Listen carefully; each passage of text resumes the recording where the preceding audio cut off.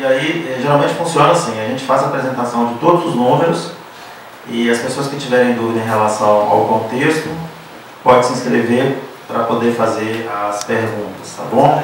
A Nazaré. E também vamos dirigir também ao corpo legislativo aqui presente. É muito importante a participação de, dos vereadores nessa audiência pública também. Bom, governo do município de Cabo Frio, em cumprimento ao disposto no, parágrafo 4 do artigo 9 da Lei Complementar 101-2000, a denominada Lei de Responsabilidade Fiscal, realiza a primeira audiência pública do exercício do ano de 2017, é, conjunto com a Secretaria Municipal de Fazenda e a Controladoria Geral do município.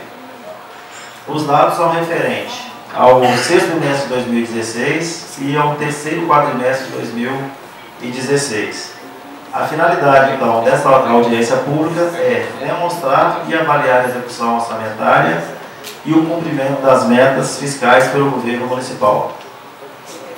O primeiro item que nós vamos ver vai ser repasse à Câmara é, no exercício de 2016, é, 6% das receitas excedentes arrecadadas do exercício anterior. Como é feito esse cálculo? Foi pego, é, analisado os custos arrecadados no ano de 2015 para realizar os repasses para a Câmara no exercício de 2016. É, dos impostos e taxas foram 116 milhões 658 mil. A contribuição para a iluminação pública foi 15 milhões 211.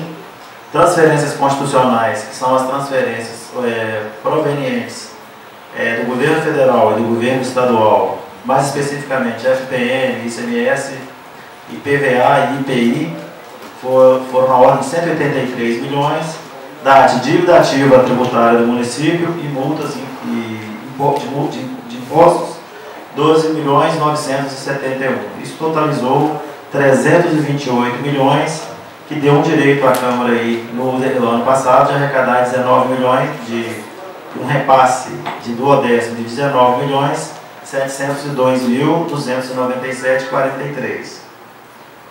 É, e, e o duodécimo da Câmara ficou, então, 15 milhões 211. Ficou um pouco abaixo, porque 19 milhões era o, o, o valor que a Câmara tinha direito, mas possivelmente o valor do, do, orçamento dela deve ter ficado em torno de 15 milhões 211 931,35.